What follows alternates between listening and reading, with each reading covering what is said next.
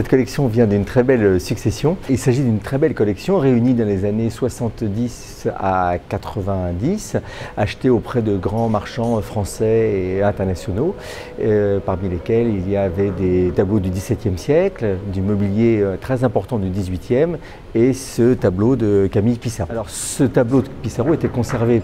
dans cette famille depuis, longtemps et nous avons retrouvé la correspondance échangée entre le collectionneur et le marchand, une, correspondance qui apporte beaucoup à la connaissance de ce tableau et qui montre l'importance que l'artiste euh, apportait à cette œuvre, qui est une œuvre à mon sens majeure. Je crois que ce qui caractérisait cette collection, c'était l'excellence. Euh, le collectionneur a voulu vraiment réunir des œuvres importantes dans des domaines aussi divers que la peinture du XVIIe siècle, avec un tableau de, Bruegel, également un tableau de Cranach, mais également les tableaux du XVIIIe siècle, notamment les tableaux de, de, du Creux, et aussi du mobilier, notamment des, commodes de, de, Crescent, qui sont d'ailleurs plus que des commodes, ce sont des sculptures en réalité, des sièges magnifiques, une commode de Mondon, une commode royale qui, a, qui était au Palais des Tuileries à la fin du XVIIIe siècle. C'est donc l'excellence qui caractérisait donc cette, cette collection et chaque œuvre a été choisie avec beaucoup beaucoup d'acuité et avec euh, beaucoup de dialogue entre le collectionneur, euh, les marchands et les galeristes. Donc ce tableau appartient à, à la période d'Erani. Il a été peint en, en 1901. Euh, Pissarro a acheté euh, une maison en 1892 à Éragny-sur-Epte, qui est un petit village situé entre Paris euh, et, Dieppe. Euh, pour Pissarro, ça va être une immersion véritable dans la campagne normande, dans toutes les possibilités de paysage, de lumière, également de rencontres humaines, puisqu'il a aussi peint les paysans, les fermiers, les lavandières. Ça va être pour Pissarro une sorte de renouveau euh, dans sa manière impressionniste, puisqu'après la période néo-impressionniste euh, qu'il avait adoptée,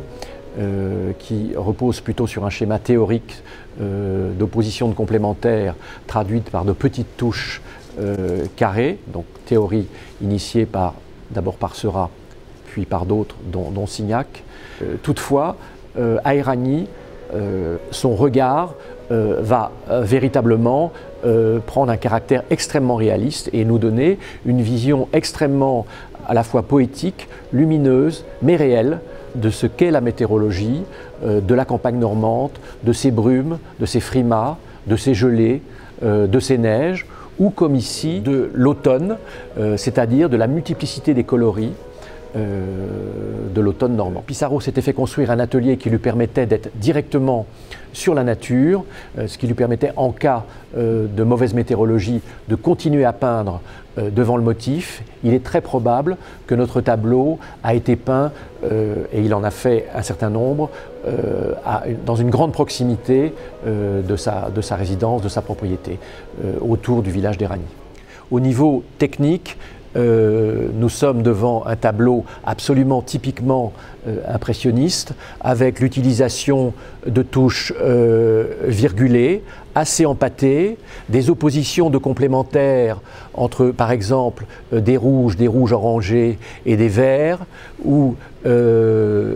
ou ici euh, des oppositions euh, de bleu et de fond euh, orangé, qui sont les principes mêmes de l'impressionnisme de 1874. Une chose est très intéressante historiquement sur ce tableau, c'est que l'on a la, lettre que Pissarro adresse à son marchand Bernheim, qui est en quelque sorte un commentaire ou une illustration assez littéraire, d'ailleurs assez, assez, réussie au niveau description, euh, de ce moment d'automne euh, à euh, donc on peut situer très précisément ce tableau peint en octobre 1901. Nous avons la chance sur Pissarro d'avoir un, magnifique